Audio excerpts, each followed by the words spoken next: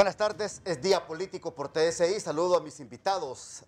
Abogada Melissa Elvira, es un gusto tenerla de Democracia Sin Frontera. ¿Cómo está usted? Igualmente, Ramón, un gusto de estar aquí nuevamente y gracias por este espacio. ¿Y el abogado Fernando González? Gracias a producción, gracias a usted, Ramón, y pues eh, encantado de estar con la abogada Elvira, ¿verdad? Para que nos pueda ilustrar Hombre, de lo que está sucediendo en él. ¿Y le pegó aquello a usted? Aquello que, que dijo que iba a meter para que se diera también amnistía a delitos militares. Fíjese que todavía está en proceso, ¿verdad? Ajá. Todavía está en, en- en lo que es la Secretaría de Defensa. Esperemos que el ministro, el abogado José Manuel Zelaya Rosales, pues se ponga en manifiesto la solicitud de este humilde ciudadano que paga impuestos y que está solicitando en este sentido de que eh, en el devenir del tiempo cercano pues eh, haya una amnistía para delitos Ujú. y faltas de orden militar. Bueno, vamos a ver si le... Esperemos que sí. Porque tiene que ir al Congreso. eh, Son delitos militares. Le está pidiendo que, que- que se les aplique amnistía, que se les perdone.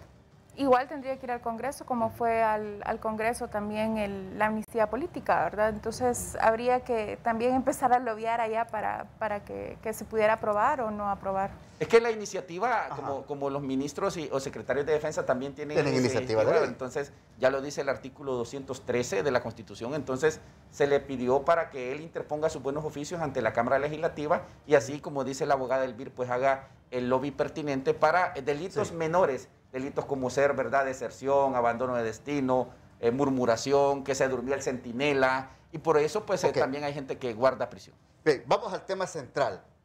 El 25 de abril tendría que llegar al país una misión exploratoria de la ONU para conocer, in situ, si están las condiciones jurídicas, técnicas y financieras para instalar la CICI, que Cancillería y el gobierno de doña Xiomara Castro han, em, lo han pregonado desde la campaña política anterior. ¿Habrán condiciones para que se instale en el país? Eh, eh, abogado Elvir, comienzo con usted.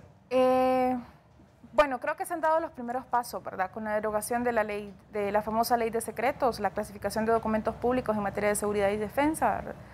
Eh, se ha retrocedido un- grandemente con, con el tema de la ley de amnistía política, ¿verdad? Que se ha, que se ha jugado también entonces para ver el tema de los delitos incluidos en, en temas de corrupción, que entonces eso podría ser un atraso en realidad para que la, la ONU pueda apoyar o no pueda apoyar la CICI. Eh, están hablando de la ley de colaboración eficaz, están hablando de la ley de, para la elección de altos funcionarios, que quieras o no, eso también podría ser un apoyo precisamente para tratar de deslindar un poco la política partidaria de la elección de magistrados de la Corte Suprema de Justicia, eh, siguiente fiscal general y fiscal adjunto, que eso implica como sea, eh, darle un poco de mayor respaldo a la institucionalidad pública para poder elegir realmente funcionarios que tengan el peso eh, técnico, pero, pero también la probidad y la ética para poder ejercer entonces Ahora, estos cargos. Le consulto a usted antes de platicar con el abogado González. ¿Qué tiempo cree usted estará instalada la CICI en Honduras? Yo creo que un año, o sea, de una, una vez eh, que ya se defina el objetivo de la, de la, de la CICI, de, de- de que ya tengamos muy claros cuáles son las actividades que van a desarrollar, su plan de acción, más o menos un año para poder Ujú. terminar de instalar, sobre todo pensando en que hay una guerra en este momento y que no se le ve fin todavía, ¿verdad?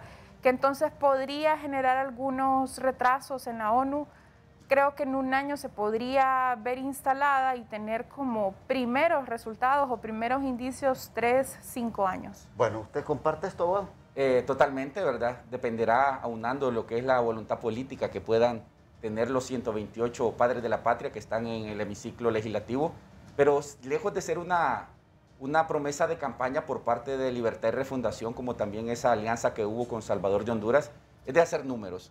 Es de hacer números porque se, necesitan 86 votos, ¿verdad? Dentro de lo que es el hemiciclo legislativo. Tienen 86 votos lo, lo que son los actuales eh, que están mandando, solo llegan a 60. Tendrían no, que... No, este- no, si, si votan los liberales a favor, que... Tampoco que para- llegan. Llegan 84, le faltarían dos. Mm, tampoco llegan porque tiene s- eh, 60 entre PSH y lo que es libre, más 22 son 82. 82 más el más el total. PAC, 83. Más Más, DC, pla- 84. Faltan dos, entonces. Faltan dos. Entonces las matemáticas son exactas, no son románticas, son directas. Hay que determinar que eh, la CICIC no fue una campaña del Partido Nacional, sino más bien de Libertad y Refundación, hay que hacer los acercamientos eh, de una manera concreta y directa. Ahora, permítame, usted dijo algo. ¿Cómo dice? ¿Las matemáticas son? No son románticas, son directas. pero en, política hay romanticismo, hombre. Puede haber también, ¿verdad? en, política hay romanticismo, abogado. Sí, por se pueden poner de acuerdo y lograr los Se pueden poner de acuerdo inclusive, pueden haber presiones internacionales para conseguir dos o más eh, votos del Partido Nacional. Pero usted cree lo que dice el abogado Elviro, ¿usted cree que si viene el 25 de abril, un año más tarde, estará instalada la CIS en Honduras con todas las condiciones? Dependerá de la voluntad, en este caso, ¿verdad? Tienen eh, requisitos condicionales o sine qua non que van a poner en, manifiesto. En primer lugar, dejemos al lado lo que es el, financiamiento. Ya nos han dicho que el financiamiento viene de manera internacional o exterior, que independientemente a veces de creer o no dejar de creer, porque nos han mentido inclusive lo que son los, eh, los entes internacionales, si no miremos el trans. Pero eso va a ser otra, otro, otro programa que siempre nos mienten, ¿verdad? Nos mintió también la Embajada de China a Taiwán diciendo que ese avión era donado y que era vendido de manera eh, simbólica por un, por un lempira. China-Taiwán va a tener que en este sentido darle una explicación sucinta y concatenada al pueblo hondureño que se atreve, perdón, que se atreve a decirle te reconozco a nivel mundial y nos ha pagado con esta, con esta desdén. Bueno, yo, le consulto a la abogada del BIR. ¿Usted cree que, mm, que la CICI estaría llegando en tiempo y forma para poder también investigar esta actual administración?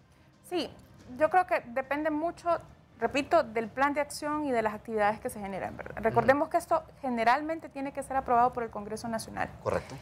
Eh, parte de las lecciones aprendidas que dejó la Maxi es que no pueden dejarlo solamente en esos cuatro años de, gobierno, sino que deberían de dejarlo por lo menos cinco o seis años que estén fuera de los tiempos de las elecciones generales y de las elecciones internas del país. Precisamente para que no dependa entonces de unas cuantas personas para ver si continúa o no se continúa o si hay una simple firma para poder eh, continuar eh, una misión de apoyo en, esta, en esta materia. Lo que sí, entonces, eh, si estamos hablando de cinco o seis años, entonces en realidad podría abarcar esta administración, ¿verdad? Primeros dos años que se realicen. Además, es mucho más fácil investigar lo que recientemente ocurrió que lo que ocurrió hace 10, 20, 30 años. Entonces, de manera definitiva podría abarcarlos. Pero yo eh, sí creo que en este caso, por ejemplo, el Partido Nacional va a apoyar precisamente porque se han declarado ahora el partido de oposición, ¿verdad? y no le vendría nada bien a su propio partido político y estamos hablando de, sobre todo que crearon esa junta de notables, que crearon varios términos, no le vendría nada bien ir en contra de cualquier cosa que vaya en favor de luchar contra la corrupción. Pero yo les consulto, les consulto a este abogado. Si apoya el Partido Nacional que se instale la CICI, ¿será una misión con las mismas características de Maxi en Honduras, sin tener acción penal, sin tener eh, que denunciar directamente a los que investigue y se les comprueba que han cometido actos de corrupción hasta en las instancias nacionales? Yo creo que eh, a la Maxi solo se le dieron encías más aún, ¿verdad? A lo que viene a reclamar o puede poner las condiciones eh, sine qua nones. Eh, la CICI en este sentido sería colmillos y dientes, si hablamos de una manera eh, coloquial. Sin embargo, pues dependerá en este sentido de hacer las reformas correspondientes, reformas constitucionales, reformas de lo que es la ley interna de lo que es el Ministerio Público. Van a pedir reformas también al Código de Impunidad y, ¿por qué no decir, hacer una reforma o derogar en este sentido el decreto eh, de la amnistía que se dio en el pasado reciente. ¿Por qué? Porque no se le puede limitar, como dice la, abogada Elvir, que no vas a conocer quizás de, del 27 de enero del 2006 al 28 de junio del 2009, porque ese, ese, ese periodo de tiempo ya, no hay, ya hay una amnistía, ya se olvidó y aquí eh, solo hubo querubines, eh, santos y arcángeles. No, y solo vas a conocer de, del 2006 para atrás y del 2009 para adelante. Entonces eso sería como un, límite que se le pondría en este sentido a lo que es la nueva Cuando usted dijo eso, me imagino que muchos televidentes hasta pujaron en sus casas. Porque yo pregunto, ¿cree que habrá voluntad política de este Congreso de eliminar esa, ese decreto de amnistía política? Bueno, eh, ya hay voluntad de, ciertos, de cierta bancada, ¿verdad? Eh, que exista de la bancada que está en el, gobierno en realidad o que está ejerciendo el poder, eh, poco creo, pero eh, sí tienen que empezar a dialogar, sobre todo si quieren instalar la CICI, si quieren cumplir una promesa de campaña. aquí en el país, en realidad es que van a tener que generar entonces todas esas normas jurídicas y toda la voluntad política para que realmente todos los funcionarios puedan ser investigados y puedan generar eh, diferentes procesos. Voy a la pausa porque aquí entra en juego el nuevo fiscal general de la República y la nueva Corte Suprema de Justicia para actuar de manera conjunta con la CICI y luchar contra la corrupción en Honduras. Vamos a analizar estos puntos, ya volvemos.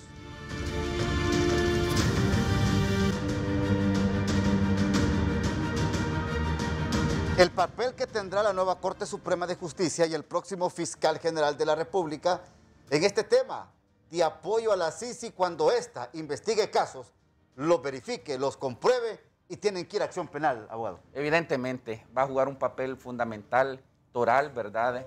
Eh, la legitimidad que le puede dar en este sentido lo que es el fiscal general, el nuevo fiscal general, eh, como también esa, lo que es la Corte Suprema de Justicia a través de estos 15 magistrados que van a, tendrían que ser del pueblo y para el pueblo. O sea, ¿por qué digo esto? Porque en este sentido, pues, eh, ha quedado en deuda los que van de salida y que en este caso, pues, las personas que se sepan escoger, que lo hagan con pinzas para eh, reivindicar lo que es la institucionalidad en el país. Sí, porque, repito, sí, si se viene a Honduras, no va a tener la oportunidad de la acción penal, solo así como estuvo la Maxi, y eso hay que aclararlo. Hay que aclararlo, tendrá que utilizar el mecanismo del Ministerio Público para emprender estas acciones penales. Por supuesto, ¿verdad? Y va a tener entonces que, que, de repente construir algo similar a lo que construyó la Maxi, que construyó una, una unidad especializada para que estuviera a la par de ellos precisamente investigando estos casos de corrupción, esos casos de impunidad en lo largo de los tiempos pero sobre todo entonces eh, va a tener que eh, buscar esas lecciones aprendidas y esas buenas prácticas que hizo la Maxi para poder mejorar sus propios procesos y procedimientos aquí en Honduras. Es decir, eh, con antelación mirar que no siempre está la voluntad política, ¿verdad? Con antelación mirar que no siempre va a tener el recurso humano o el recurso técnico aquí en el país para poder ejercer diferentes, diferentes procesos y que va a tener que entonces eh, generar los recursos económicos para poder especializar a alguien aquí en Honduras en esa materia para que realmente lleve esa voz cantante, pero sobre todo para que se encargue de conseguir esa voluntad política dentro de las diferentes organizaciones eh, o instituciones gubernamentales precisamente para que pueda entrar y entrar de lleno, no entrar por pedazos ni entrar hasta donde lo limiten o hasta donde lo dejen. ¿Será un requisito que la ONU le, le va a proponer al gobierno de Xiomara Castro que elimine este decreto de amnistía política, abogado? Yo creo que ¿Y, ¿Y usted cree que esté, que acepte, que acepte, bueno, puede aceptar doña Xiomara, pero ¿qué puede pasar en el Congreso? Bueno, ahora le regreso yo la pregunta a usted. Si bien es cierto, yo soy el, el, entrevistado. Mire, ahora, ahora la pregunta es, ¿se puede entonces llegar a un convenio que, estas, vea, que el Partido Nacional y, Libertad y Refundación hacen 94 y que le puede decir, vaya, pues, que venga la CICI, pero eh, derogamos lo que es el, decreto, el decreto de, de la impunidad, de la amnistía? Vaya, pues decretémoslo. Entonces, Juntando estos dos hacen 94. Entonces, al juntar 94 voluntades de, los diputados que están adentro, va a ser sencillito, va a ser de un plumazo. Y me quedo con lo que dice la colega Elvir con respecto a las lecciones aprendidas. Y esto ojalá no vaya a suceder también con la CICIC. La presión que metía la Maxi antes con los jueces. Los jueces deben de tener en este sentido independencia. Claro. ¿Por qué? Porque me consta, ¿verdad? Soy un abogado litigante. Viera qué presión la que metía la Maxi que si no había una, una condenatoria, una, una, sentencia condenatoria, estos jueces iban a ir para afuera. Ojalá, ojalá, vuelvo, reitero y repito, que los jueces sigan manteniendo incólume ese principio de la independencia que deben de tener de juzgar según las pruebas que se lleven al juicio. Pero es que todo el aparato jurídico del país también debe demostrar indicios de que quiere mejorar y que quiere luchar y que quiere también, porque quiere sentenciar la corrupción en Honduras, Aguada. Bajo el debido proceso. bajo el debido proceso, claro, claro. Que no podemos hacerlo siguiendo haciendo lo mismo. Es momento de pensar fuera de la caja, es momento de sacar a aquellas personas que estorban en esos, en esos procedimientos de manera definitiva, ¿verdad? Y quedarse entonces con aquellas personas que realmente quieren luchar en contra de la corrupción y de la impunidad en el país. Porque eh, ahí difiero un poquito con, con el colega, porque yo sí he conocido de manera interna algunas cosas y sé que los han presionado, pero también sé que han eh, se han mantenido en su tema de independencia eh, jurídica, sobre todo en, el circuito en materia de corrupción. Y, más bien es, es ahorita, en este momento que desapareció la MATSI, que se han visto como afectados precisamente o solos desde el circuito en materia de corrupción para poder entonces generar sus propias sentencias, ¿verdad? Em, aprovechar que ya está UFERCO, UFESIC, eh, que ya está el circuito en materia de corrupción para poder avanzar más rápido que como avanzaron en Guatemala, por ejemplo, eh, debe de ser un elemento importante en ese proceso de negociación que tenga Honduras con la ONU para poder crear la CICI. ¿Cuántos casos presentó Maxi? Eh, presentó... Nueve en el primer año. Nueve, ¿verdad? sí. primer año. Les pregunto a ustedes, de estos nueve, ¿cuántos pegaron? ¿En cuántos se encontró una resolución condenatoria contra los que señaló Maxi, investigó Maxi. Ahí las estadísticas es el, abogado del BIRTE. Todavía continúan en algunos, en algunos procesos, ¿verdad? Porque con temas de apelación, Pandora, de casación, Pandora, se fue a, Corte Suprema de Justicia. En el circuito en materia de corrupción fueron nueve, siete, nueve. Y ahí han salido solamente el caso de Roselena de Lobo. Que se volvió a repetir. Sí, que se volvió a repetir, pero creo que paremos de contar, ¿verdad? El, tema de sentencias, porque entonces sería, entonces sería este, este, este caso de este caso de la caja chica de la dama sería el único que ha logrado sentencia de lo que investigó Maxi. Hasta el momento, eso sí tendría que averiguarle como muy con certeza, pero del que yo recuerdo, sí. Por ejemplo, ah, aquello sobre ruedas no, se mantiene ahí. El de sobre ruedas va para juicio oral y público. Fede Ratas. Planeta Verde. Eh, Fede Ratas está en la Corte Suprema de Justicia, si no me equivoco. Planeta Verde está en Corte Suprema. ¿Quieren reactivar el tema de la red de diputados? También. También la quieren, activar. Es que, mire, entonces si volvemos. Pero que ya va al circuito en materia de corrupción, ya no va. Correcto. Ah, el famoso pacto de impunidad también. Correcto. entonces, si miramos en realidad, abogada y, y amigo, y todos los que nos miran a través de Día Político, costo-beneficio. Saquemos costo-beneficio. ¿Cuánto costó traer a la Maxi? ¿Cuánto resultado dio la Maxi? Entonces, eh, si miramos en realidad, es un pago exorbitante, que si bien es cierto, no era con fondos de acá supuestamente, pero no deja de ser cierto también que la productividad, fue acéfala, eh, no acéfala, sino que pequeña, minúscula, eh, mezquina, si se puede llamar así, porque eh, tampoco se le dejó actuar de manera amplia y soberana a lo que era esta institución internacional. Por eso digo y repito, es que anunciar con bombos y platillos que viene una misión internacional a investigar, corrupción para salir como gobierno, como en caballito blanco, es bonito. Pero hay que ver también qué apoyo va a tener, si se le va a dar dientes, si se le va a dar músculos, si Honduras va a invertir también. Si, el país va a invertir. Por muy poco que sea, pero que el hecho que ya invirtió significa que realmente está poniendo, está poniendo eh, voluntad, pero no solamente con voluntad, o sea, sino que comparte del recurso que hemos generado nosotros los ciudadanos con nuestros impuestos, ¿verdad? Y que también, y que también, y que también no sé si comparten conmigo, que no sea esto un revanchismo político, sí. sino que se comience a investigar en el debido proceso. Yo insisto, Óigame, los últimos 30 años que se investiguen en Honduras. ¿Y cuál es el, problema, pues? Sí, pero comparto con lo que dice el abogado Elvir, que recabar información hace de 30 años, pues eh, eh, se vuelve tedioso. Entonces quizás eh, volvemos a lo mismo y no me estoy contradiciendo. Pero no imposible. No, imposible. Y esa es la, las misiones tienen que ser imposibles. Valga la película, ¿verdad? Que en este sentido tiene el deber y la obligación de recabar información porque hay mucha gente que aquí vino casi a taparrabo a lo que es la capital y ahora son personas eh, ultra super pudientes. Entonces, en este caso, va a ser justo y necesario que toda esa información sea fidedigna. Aunando a esto, doctora, yo le digo a usted, tienen que haber reformas, tienen que haber reformas a ley, ¿verdad? La ley de colaborador eficaz va a ser necesario, va a ser un brazo fuerte para que la CICIC en este sentido pueda echar mano, ¿verdad? Y echar a andar lo que es el proyecto. Tengo que ir a la pausa porque también está la ley de transparencia, que tiene que ser una ley que debe ser fortalecida. La, ley del Instituto de Acceso a la Información Pública, que, ahora quieren, que ahora quieren elevarlo inclusive a, a Ministerio, a Secretaría de Estado, el IAIP. Yo creo que hay muchas cosas. Vamos a la pausa y venimos a hablar acá más en Día Político.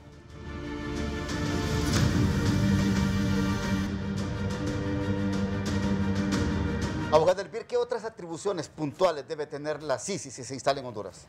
Bueno, eh, hasta, cierto punto y dejarlo como muy claro cuál va a ser esa línea fina que va a dividir entre su acción penal y el respeto a la soberanía del Estado hondureño, tiene que definirse ese papel por parte de la CICI, ¿verdad?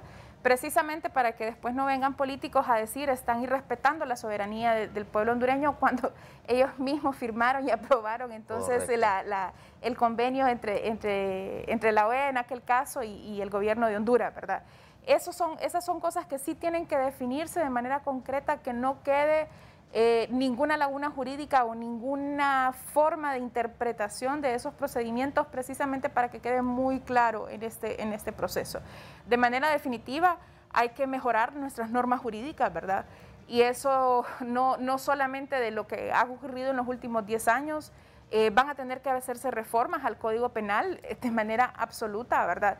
Y ahí esperemos que, realmente sigan aquellos consejos, aquellas recomendaciones que ha dado el CNA, por ejemplo, en, esa, en esos procedimientos, eh, para poder mejorar entonces ese nuevo Código Penal o y por supuesto, reformar el Código Procesal Penal. No podemos continuar con un nuevo Código Penal y con un antiguo Código Procesal Penal que entonces no, no, no se va en, ese, en esas líneas. Ahora, para ir terminando, abogado Fernando, eh, todas estas condiciones que hemos hablado hoy aquí en el programa y todo esto que le puede dar, repito, colmillo a la CICI para investigar corrupción, ¿estará disponible la clase política de Honduras sin colaborar? Residirá en ellos y en este sentido es de tener en cuenta de que 48 meses pasan eh, volando para los que están en el poder, más aún se hacen 48 meses eternos para los que no están en el poder y están en la llanura.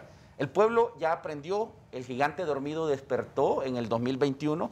Créalo que toda aquella persona que, o aquel diputado que vaya en contra y en detrimento en realidad de los sagrados intereses de la patria, no va a regresar, no va a volver, porque el pueblo hondureño no va a olvidar y quizás van a ser banderas de campaña para las subsiguientes eh, elecciones en decir que Sutano, Mengano, Juan, Pedro, cualquiera que sea, ¿verdad? Votó en contra para que pudiera entrar lo que era en, ese momento, lo que era la CICIC. Perfecto. Yo les agradezco mucho. Gracias, abogada Merisa Elvir, directora ejecutiva de FOPRIDE. Ahora, ahora sí, está bien la Federación de Organizaciones para, No Gubernamentales para el Desarrollo de Honduras, eh, a su servicio siempre y, esperamos entonces eh, poder colaborar desde FOPRIDE ahora, tanto para la CICSI así como para diversos temas desde una organización que está en un segundo piso, ¿verdad? Donde sus, asambleístas son 80 eh, organizaciones que ya pertenecen a la federación. Gracias también al abogado Fernando González, un, litigante permanente en los tribunales de justicia de nuestro país. Gracias, gracias, por invitar, gracias a producción y gracias a usted. Gracias, también a la abogada Elvira por iluminarnos con tanta conocimiento amplio, lato y suficiente y que viva Honduras. Hasta aquí el programa de hoy. Buenas noches.